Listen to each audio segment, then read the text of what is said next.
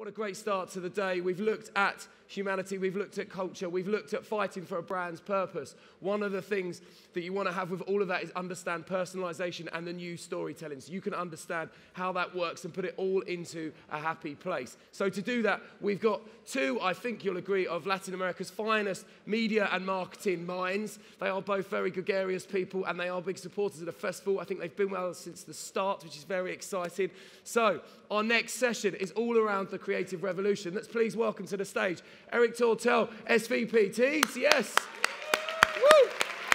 And by no means last but not least, we have Alejandro Betancourt, Associate Brand Director, P&G. Yes!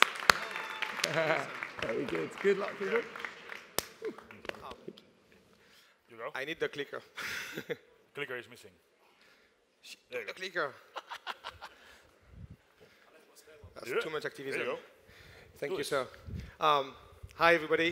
Um, I know you all came for uh, the other guy. Uh, so I, I, I'll try to be uh, as quick as I can. Um, now, seriously, I'm, um, I'm really, really, really grateful to uh, Jeremy for once again uh, allowing us to be on, on main stage. And I'm even more grateful to uh, Alejandro for sharing that stage with, with us. We are not yet a massive uh, company in the, in the industry.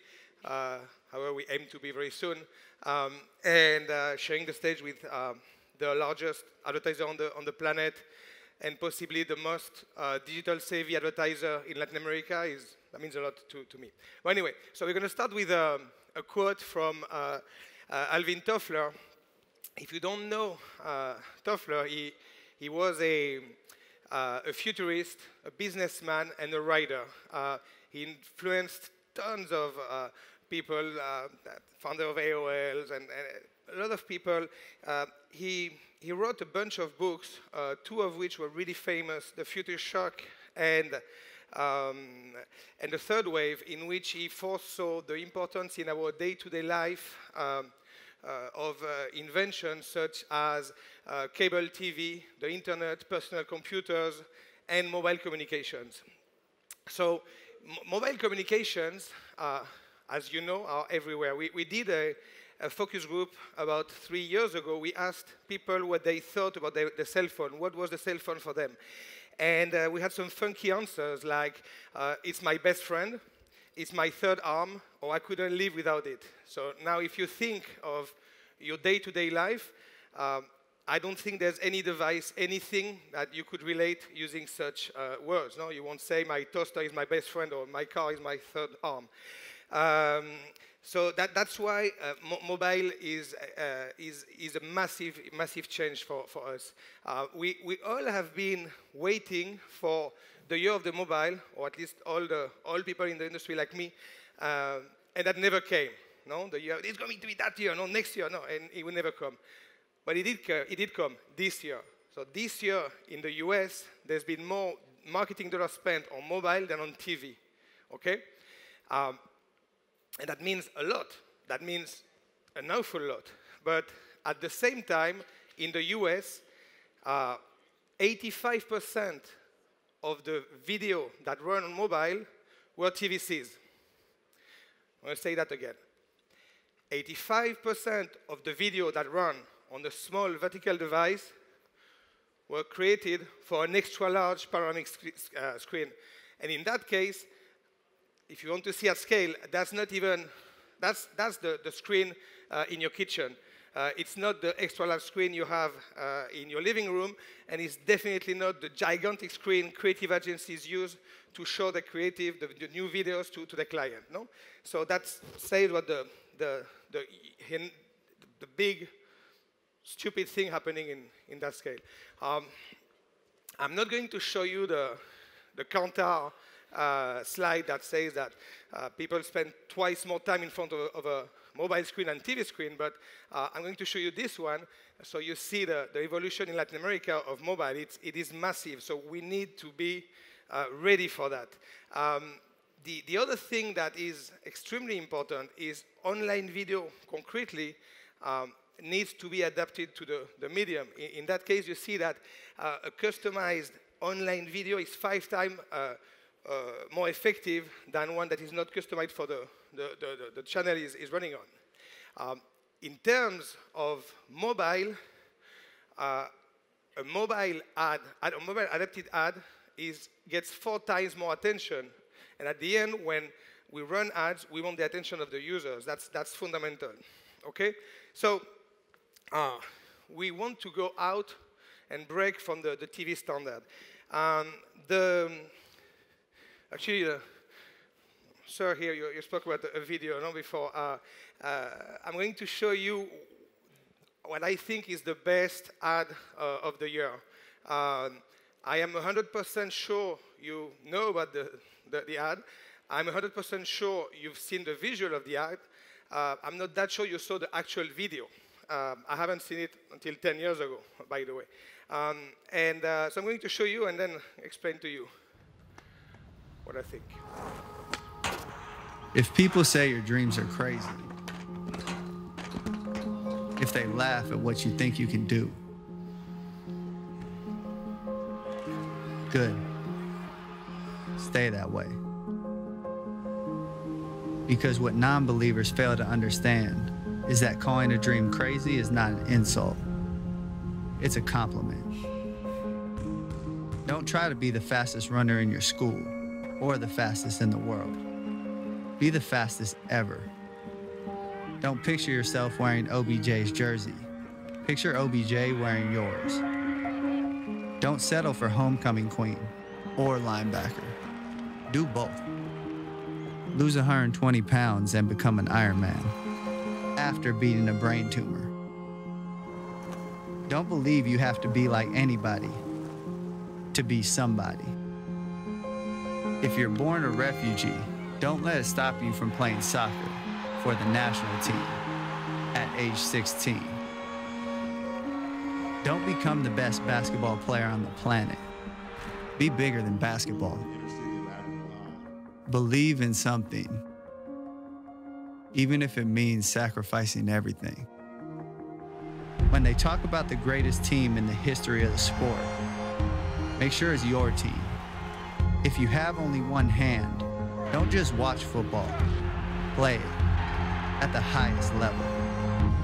And if you're a girl from Compton, don't just become a tennis player. Become the greatest athlete ever. Yeah, that's more like it. So don't ask if your dreams are crazy. Ask if they're crazy enough.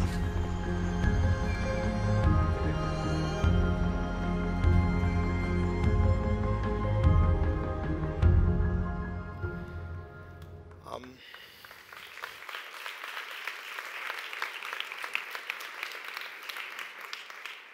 so there's a bunch of things to say about that, that ad.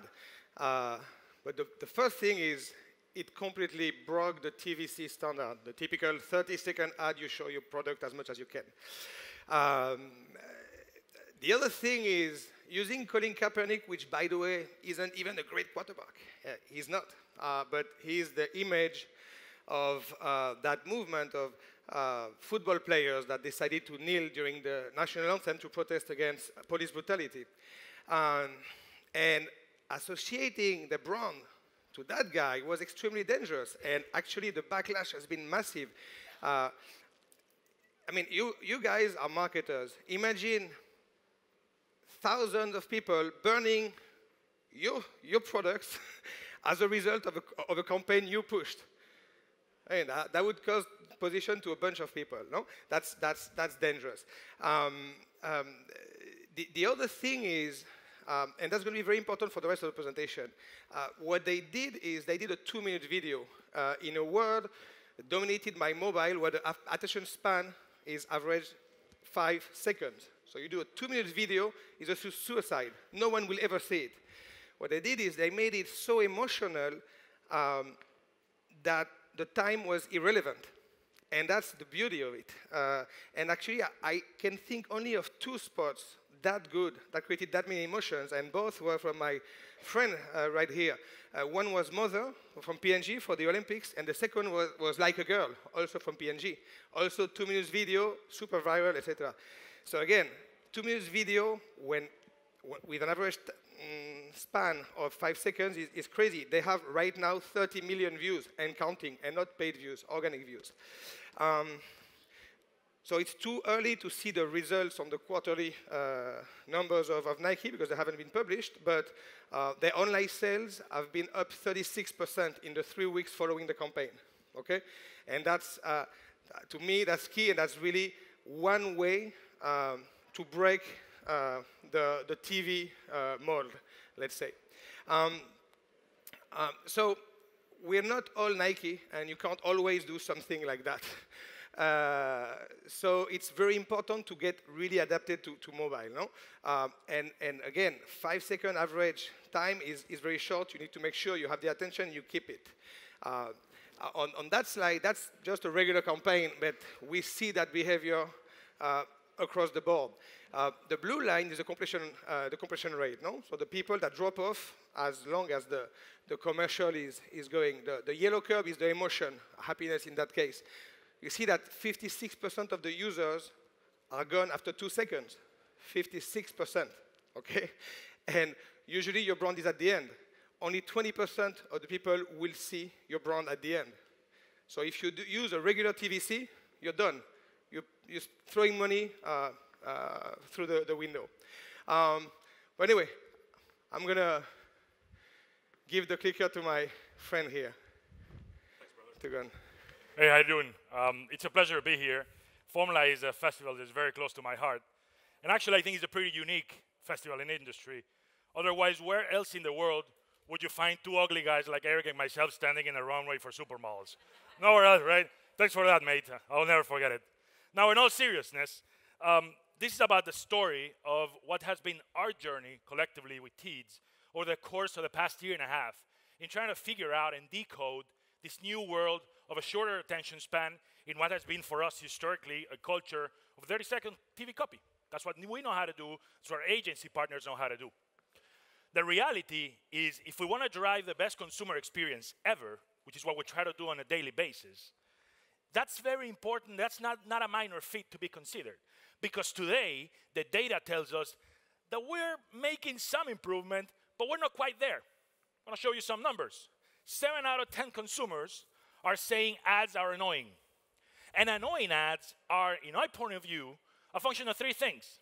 First, too frequent. If you get served ads one after the other, that's just annoying, right? Second, ads that are irrelevant.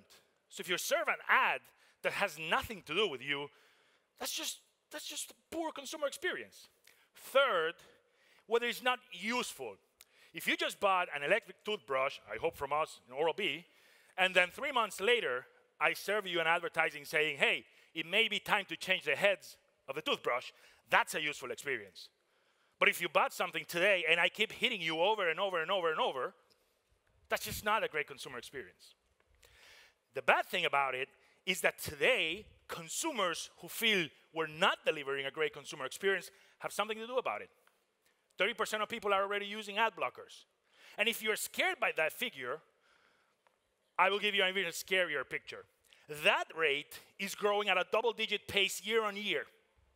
So my 75 year old dad might not know how to install an ad blocker if I serve him an ad that he doesn't like. But our millennial, centennial, Gen Z, Gen, whatever you want to call it, 18 to 34 young audience will know immediately how to put up an ad blocker. Think about what that means for everybody in this room.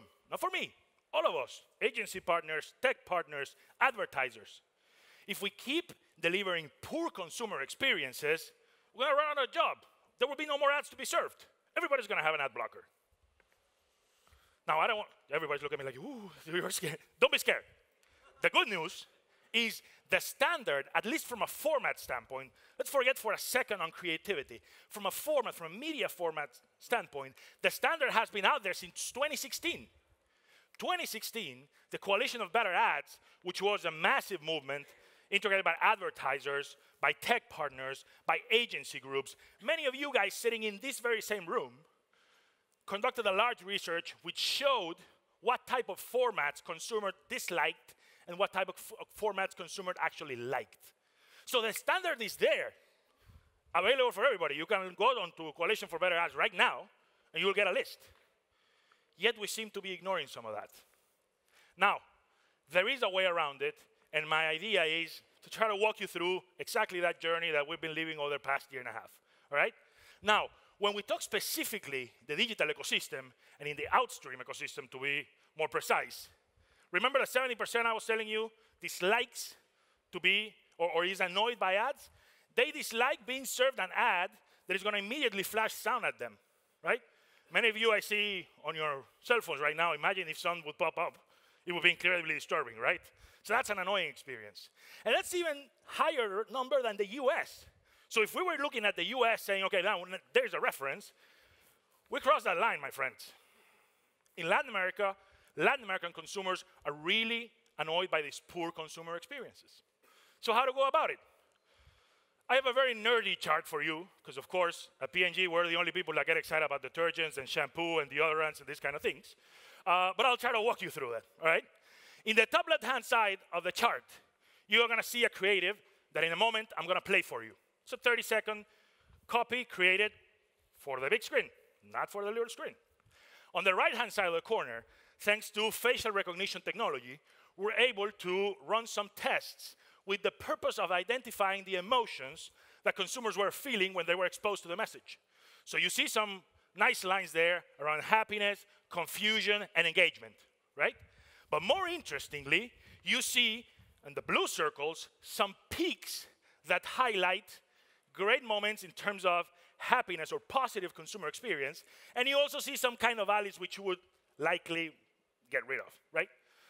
So are you ready? Are you with me? We're going to play the ad, and you're to see the bar going throughout the commercial. Please keep in mind the moment where it comes up. And I'm going to do it. I'm going to put the acid test, and I'm going to play it sound off. All right? Let's see this. Branding is there. First Valley, mm, not so nice. We keep going. Then all of a sudden, oh, this is reaffirming. A beautiful back shot there. Ah, happiness. Ooh, broke demo, not so great. Then you get another small peak there. Engagement keeps being pretty decent. Falls a little bit with the same model. Then goes up with the closure of the pack. Did you see that? You, all, you all saw how that went through, right? Now, what I didn't tell you is that the light colored blue line that is there reflects the view through rate, which means, in other terms, that at least two or the two highest peaks of my copy, nobody was watching. Or less than 10% was watching, just to be fair with the data, right? Not to massage the data in my favor. Now, that's a big problem, right?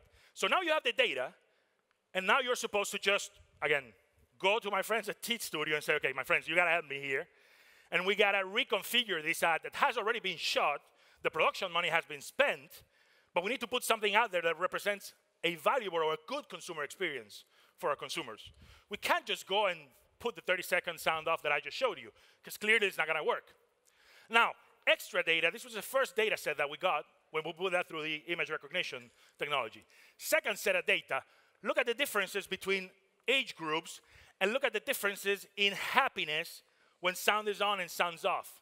So left-hand side of the chart, it seems to be that the highest positive association is in young audiences. Great job. Everybody knows that's a very tough audience to please. So good job there. Another piece of insight, let's park it there. Right-hand side of the chart, what you see is that the biggest value that you get on sound off seems to be around the product message, which is something that we clearly cannot let go if we're trying to relaunch uh, a brand and communicate a message, right? Communicate a product message or a claim. So the insight there alludes to maybe trying to resort to captions as a way to help get the message across. You want to see what the final one was? Let me show you. Four insights. A skin around the ad to increase the branding, right? If you remember, there were some peaks and valleys. So having the branding there from moment zero helps a lot. Second, the reinforcement of the messages with power captions. Again, this is not a movie in the theater where you have everything subtitled. This is just power lines, right? And third, the insight of what audience should then we go after with more intentionality in the understanding that this is the audience that is receiving the advertising best. So again, from a simple image recognition study, you drive at least three insights out. First, how to optimize the message that you're delivering, the product message, which was not so hot when we saw the charts uh, in the previous slide. Second, you get a targeting recommendation out of that. And third, you get to play a little bit with reconfiguring an ad that has already been produced. Okay? So let me show you just um, the results that ultimately this had. Surprisingly for all of us, and I, I think Eric knew it, but I didn't know it, I wasn't expecting that, the results on mobile are even more powerful than results in desktop. Obvious. Now that we see Eric's presentation, we say, of course, in the big screen, maybe it didn't make that much sense. I mean, it didn't make a difference. But when you looked at it in the small screen, it did make a lot of difference. 30% in video completion rate is huge. It's a huge efficiency play, it's a huge effectiveness play because the message is getting there. All right? Now, well, I don't know about you, but when I uh, was studying, and I was studying storytelling, my professor told me storytelling is about three things images, sound, and the story itself. So if you take sound off, that's like sending a boxer to a fight with a hand tied to his back, right? For marketers, it's quite a challenge. So how do we play around that? Let me show you a case called, yeah, that's the title, What is APP, right? For Pampers, for the new technology that um, impeded the sagging of the diaper, this is the original creative. Take a look. Nuevo Pampers Comfort Sec con Extra Sec Pods. Mantiene a tu bebé hasta dos veces más sequito y hace que el pipí desaparezca. Pampers, amor, sueños y juegos. Beautiful. Love the kids. Beautiful music. Guess what? The music is not going to be present when we do the sound off, right? No surprise. Look at the results sound on versus sound off. Sound on, very good. Sound off, eh, not so much, right? So when we think about this, we say, okay, what are we to do to make sure that we can keep some of the effectiveness behind the commercial by losing the probably key part of Beyond the Cute Babies, but the music has just another, an extra layer of cuteness, if there's even a word, right? So let me show you what we did, and I'm going to cheat this time, and I'm going to show it to you with sound on to see if you can pick up the difference. Nuevo Pampers Comfort Sec con Extra Sec Pods. Mantiene a tu bebé hasta dos veces más sequito y hace que el pipí desaparezca. Pampers, amor, sueños y juegos.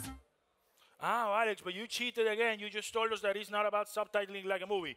It depends on the type of creative. That was a second learning that we had. Power captions were very useful in the case of Head and Shoulders. This was a 30 second copy. This one was a, was a much shorter piece of creative, which we then had to tackle uh, differently, all right? The message was very clear. Now, anybody care to guess the performance sound off versus sound on? Yeah, we didn't either, so I don't blame you. Purple line is sound on. Yellow line is the optimized version with sound off. So the second creative I played cheating with sound on, playing sound off outperforms sound on. So this is the new storytelling. This is the revolution that being able to play in this format allows us to do whenever we have the intelligence to be able to reconfigure the creative and deliver a better consumer experience. So again, it's about making sure you understand what is the superior consumer experience we want to drive, make sure that you have the intelligence in your hands to, the, to make decisions, actual decisions, even on, on commercials that have been shot already.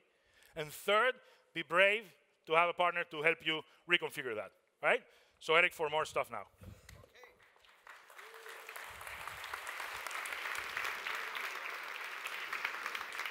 Um, so if you think that's only for P&G videos and that kind uh, of videos, uh, we tested 234 ads across all categories, etc.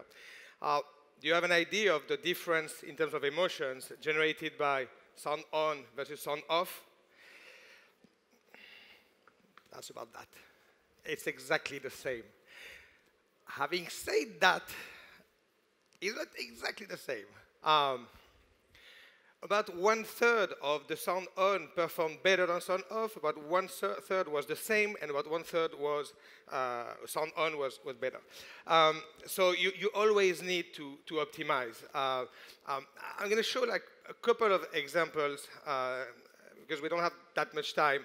Uh, if you want, we have a 96 uh, slides.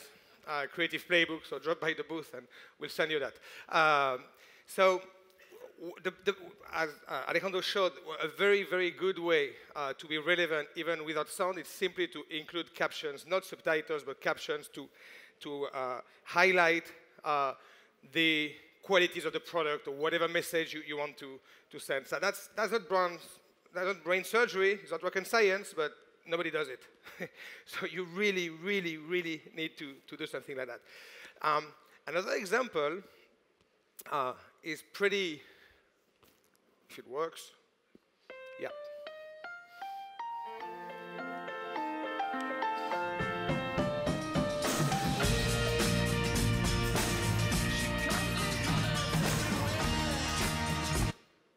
So in that case, uh, we tested the, the, the, video, again, with facial recognition. And we figured out that the moment where uh, she turns her head and looks at the camera is the highest level of emotion uh, within the, the, whole video. Uh, so since we had to run it on mobile, um, and we knew something that long would never, ever, ever work, we just created a display ad with that. Um, and uh, simply by activating through the scroll, would have the lady turning her head. And that's super simple. But that's crazy. We got a CTR of 2.5% for that. Okay, that's five times the, the benchmark. Uh, people just loved it, and it's just super simple. We just cut a little bit of the TV ad that would have zero chance to, to, to, to make anything, and we had the brand presence since, they, since the first second, and, and that's it. And that was that was that, that simple. Um, another example uh, for Pampers, actually, um, what we did is, because the video was, wouldn't, would never work, we simply created a click and blow. So you would tap on it, blow on your phone, and I would move the baby's hair. And there's nothing. We didn't invent anything. That was the video that they gave, that they gave to us. It was exactly the, you know, we just animated it for mobile. Um, so, so again, um, we're going to close now. Uh, Oh, 40 seconds, that's fantastic. It's first time on time. Uh, uh, you see? I told you. Um, I'm going to finish with another quote uh, from a guy um, I actually had the chance to have lunch with last month in, in Buenos Aires. Um, and um, it's, if you want to understand how animals live, you, you, don't go to the zoo, you go to the jungle. Um, he, at the, that, that lunch that we had, he explained to me that um, he's been once uh, hired by a Japanese firm uh, uh, to increase the sales. And what he did was he invited the CMO to spend a weekend at a very humble person's house. So he would understand how he lives and how to communicate to that person because obviously they don't have the same uh, social status that, you know, they wouldn't simply talk the same language. Another example was uh, for Kinder, actually, the chocolate egg Kinder.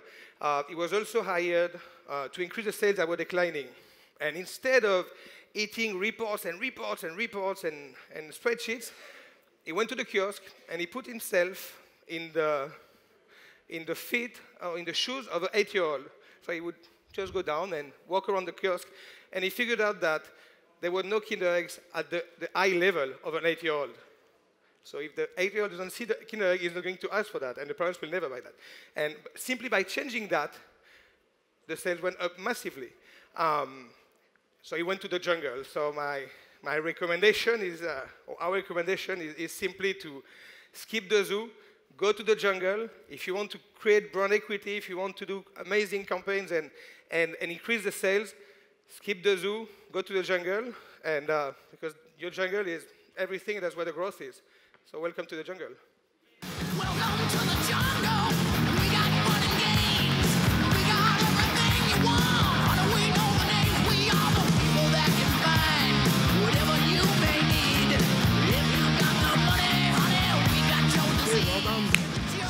Great. Well done, gentlemen. I am sure, third session of the day, and the fact that we've got Teads and P&G on here, someone is definitely going to ask a question here so they can look important. Who has a question on that session? Someone must have here somewhere. I was very impressed with the blowing on the baby's hair and making it move. That is awesome, I have to say. Wow, none of you have a question. Here we go. I knew we'd have one just here. A microphone is coming to you right now. I'm being told so, we only have time for one question, but you know, I like yeah. to break the rules. So, so for, for both, not for uh, a particular one, so either Eric or Alex. So uh, in the beginning, it's all about making advertising that doesn't suck, that is really awesome, that captivates people. Mm-hmm. And that's pretty much the solution for a world in which people don't want to be followed, don't want to be tracked, don't want to watch advertising, and don't want to be forced to watch advertising. But then on the other hand, we see this growth of performance-based marketing, trying to hack the system, trying to chop and bits and, and create like ads that work, but uh, just are gaming the system pretty much. And since we have this shift towards uh, more, more performance marketing, how do you think that this is going to work? Like the create the, the will or, or the objective to create better advertising so people can interact with it or at least not skip it and not hate it, that would be the objective. But we need to sell some stuff. We need to sell some yeah. diapers. Yeah. And I need to make, I need to hack the system to make people click things. And we end up creating ads that are click here, buy now, shop now, download the app, and performance-based ads. So can we do uh, both at the same time? Yeah, yeah. I think you, you want to take it. No, yeah. So yeah, thank you for the question. I, I, I, think I think you can, and I think it goes back to the superior consumer experience uh, case, right? And, and I want to try to give you a practical example. Like if you've heard Mark Pritchard talk, at least recently, he's talked about how we reinvent brand building. One of the pieces there is how do we reinvent advertising to be more push and pull instead of only push advertising, right? So let me give you a clear example on push and pull. The Olay Skin Advisor. It's here in the US, it's in China, it's quite big now. The Skin Advisor is simply an app where you go in and through facial recognition image, scans your face, tells you and suggests then what's the best type of Olay uh, product that you should buy for your skin. So that's a comment. So did you get that through an ad? Yes. Was that a useful experience? Absolutely. I didn't have to go to a dermatologist, I didn't have to go to a store. Just simply by scanning it with my phone, I was able to do it. And that's 100% tied to e-commerce. So it's, it's, I think the, the, it, we're more into an and world than in an or world, right? It's about doing push and pull instead of doing push or pull. So that's the way we're looking at it. Again, we're in the middle of the reinvention that, that Mark has announced, and, uh, but certainly making sure that the consumer experience is at the heart of what we do, um, uh, we believe is the way to go about it. Is it, is it help? Is it, does, does it clarify? Yeah, yeah. I'm, okay. I'm just worried about the other 99.9% of the advertising that really sucks. because you, you, can do awesome, epic advertising, but then if the others are just doing crappy stuff, people get pissed off, and you get uh, you, you, get this. Uh, I'm, I'm, an optimist, man. There's a lot of people yeah. here that uh, that want to give the consumers a superior experience. So I, I'm optimist. Thank you. Thank you. Thank you. Unfortunately, we only had time for one question, but I think Alexander, Alejandro and Eric will be around to answer more questions. Are you around, guys, for a few yeah, more minutes? Of course, man. Excellent. Well, let's hear it for Alec, Alexander and Eric. Thank you. Well